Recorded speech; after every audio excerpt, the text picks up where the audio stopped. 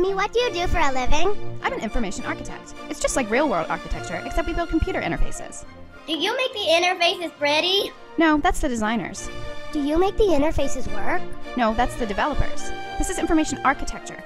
Just like how Frank Lloyd Wright designed famous buildings that everyone loves, famous information architects have made. What do you really do, Mommy? Let's say an interface is like a house. We design the rooms and hallways so people can easily find what they need. That's it. Well, in 1995, anyway. These days, strangers can go straight into the house through any room they want. That's scary. Let's start over. Another way to describe it is that we organize interfaces and their content. We're like librarians. We tag and sort everything so people can zero in on the things they're looking for.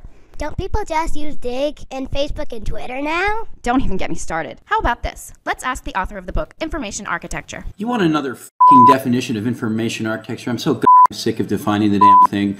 All right, I'll give you one. It's a bunch of clumpers clumping and a bunch of and splitters splitting. Is that good enough? That's good. Uh, I guess. But remember what Jesse James said at last year's Information Architecture Summit? The web is like clay, raw material that we shape into experiences for people.